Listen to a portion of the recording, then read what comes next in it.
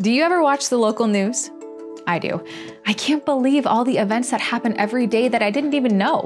And I live in a small town. A lot of things can happen behind the scenes of a network too. But how can you get the scoop on what's going on there? With a syslog server. You can think of a syslog server as the small town reporter for your network, gathering and reporting events from across network devices in real time, laying them all out for you to view and analyze. It can be an invaluable troubleshooting, monitoring, and maintenance tool. In this episode of Cisco Tech Talk, I'll show you how to use the free utility TFTPD to act as a syslog server. Next.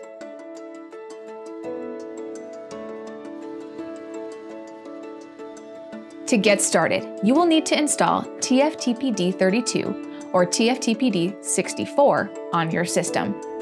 In most cases, when this utility is running, syslog traffic travels over the UDP port 514.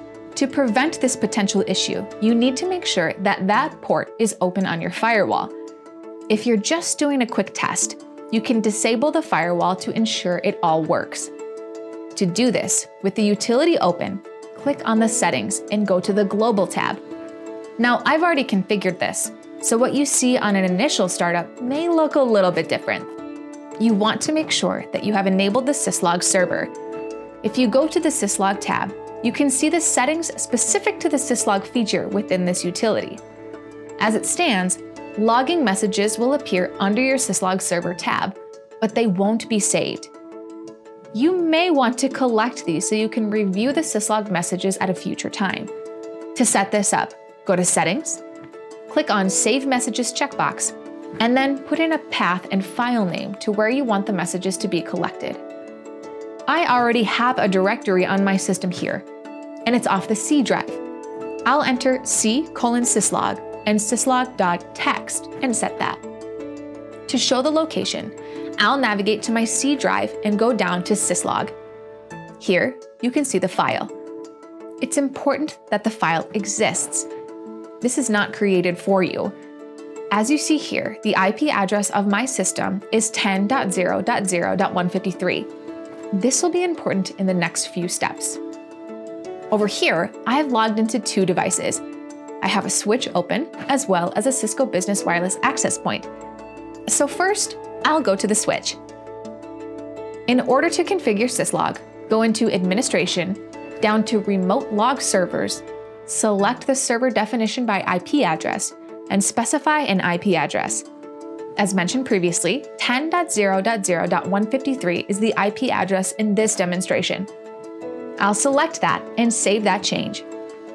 To show how this is done on the Cisco Business Wireless devices, I'll go into Advanced, go down to Logging, click on Add Server, and put in the same IP address of 10.0.0.153. Now that both of those are set, you may or may not see messages coming in. In this case, there are a few already. I'll make a change to the logging level to force more messages to come through. I'll set the level to debugging and save. Now you can see even more log messages. One way to tell where the messages are coming from is to look under the From tab. This is the IP address of the device that sent the message.